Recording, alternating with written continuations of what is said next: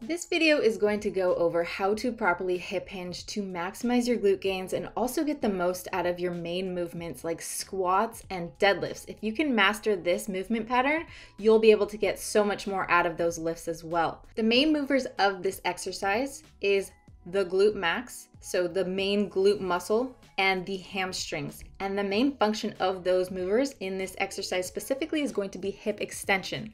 So basically moving from a hip flexed position, which you see on the right, basically bringing the knees closer to the chest, into a hip extended position. This movement also requires an isometric hold through the back extensors and the core musculature which is why it can be a very helpful exercise if you have problems with your back rounding in your deadlift. In order to get into a proper position for this exercise, it's important that you have proper hip flexion mobility. So, implementing things like banded hip distractions, which you see here, can really allow you to get the most out of this exercise. The more you can get into a hip flexed position, the more range of motion that the joints and the muscles are going to move through space, and therefore more overall tension will be applied to the muscles that you're targeting. So in this banded hip distraction, you're going to grab a band about medium resistance, set it up on something sturdy, and put it up high up in the hip crease as much as possible. And then you want to walk it out so that there's resistance in that band. And it's going to essentially your hip as far back into the posterior hip capsule as possible. Again, the main idea here is to gain as much hip flexion mobility so that we can move from a very hip flexed position into a hip extended position and get the joint moving through its full range of motion. Now, the reason you want to focus on getting some hip flexion and some slight external rotation of the hip is because if you allow your hips to close off and internally rotate, like you see here, it will actually close off that hip joint and prevent you from actually getting into a deep hip flex position.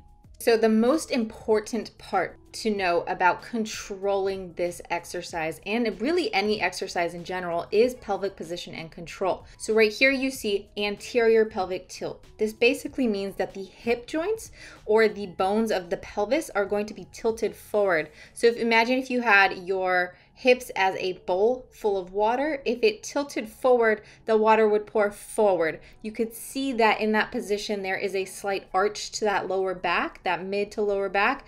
The ribs are kind of flared outward, and you see that more curved back position. Now we want to bring ourselves back to neutral or a more stacked position where the hips are directly under the ribs. Now this is posterior pelvic tilt, which is the opposite. So the hips are a little bit more tucked under like this.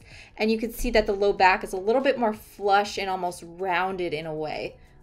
Once you can control the position of your pelvis, the more you'll be able to control the position of this movement overall. So don't skip this part. This is how we're actually going to perform the exercise.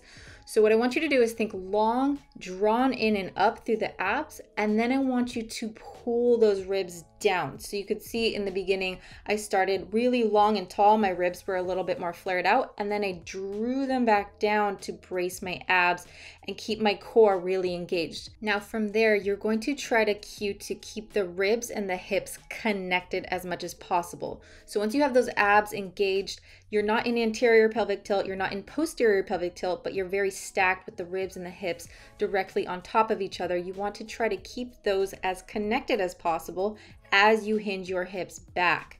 So I want you to think long and tall, tensioned and braced with a soft unlock of the knees. You don't want to actively bend your knees and you don't want to keep them locked out. They're just slightly unlocked. And then from there, you're going to guide your hips back to the wall behind you and stop when the hips can no longer move back. And then you want to use your glutes to come back up.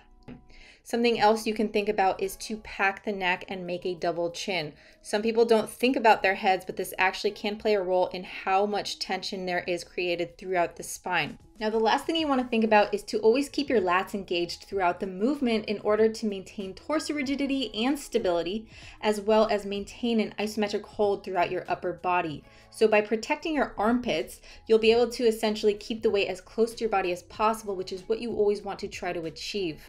Now, how to actually progress this movement, I would start with just body weight. And if you're still having trouble cueing to guide your hips back, use a resistance band as a more external cue to really get that physical um, touch and allow the band to guide your hips back. So you're gonna set that band up and put it at hip level and set it up right on that hip crease. So essentially, when you are kind of hinging, the band is going to guide your hips back and give you that external cue as far as how to load the hips back and feel that tension in your glutes, feel the tension in your hamstrings, and then again, pushing and extending those hips forward so you'll have more resistance as you're coming back to that standing position.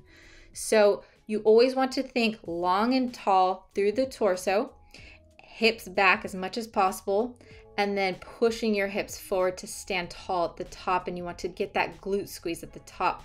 You don't want to fold over. You can see here the back is very rounded and I'm just folding over through the back. I'm not actually hinging through the hips. So use that band to really, again, pull those hips far back behind you as much as possible.